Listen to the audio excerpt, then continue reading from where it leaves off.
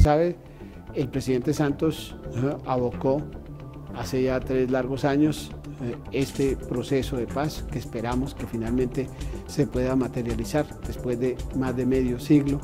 de violencia y de confrontación armada, que finalmente pues eh, digamos esto se pueda materializar. Eh, y pues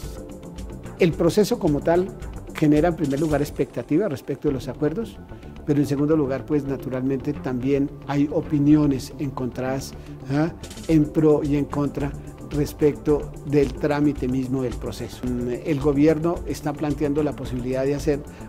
alguna reforma constitucional que eh, involucre, como lo ha dicho el presidente de Santos, aunque no tenemos el proyecto todavía formalmente radicado, que involucre eh, Mm, eh, algunos aspectos de reforma a la Constitución para el trámite seguramente de algunos actos legislativos o de algunas leyes, dependiendo su categoría estatutarias o orgánicas, y poder facilitar de esa manera eh, eh, la implementación de los acuerdos que algunos de los cuales ya,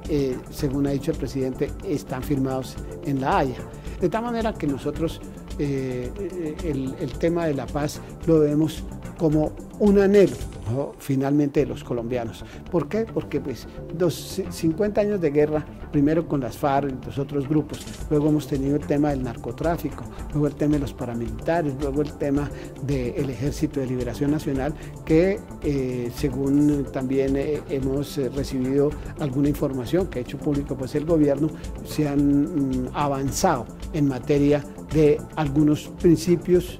para lograr sentar en la mesa de negociación al Ejército de Liberación Nacional. Naturalmente, eh, la paz, sin la menor duda, será eh, quizá el mejor alimento, el mejor ingrediente, eh, la mejor opción que tenemos los colombianos para progresar y para hacer que tantos de estos recursos que hoy parta de la base de un, un presupuesto de 215 billones de pesos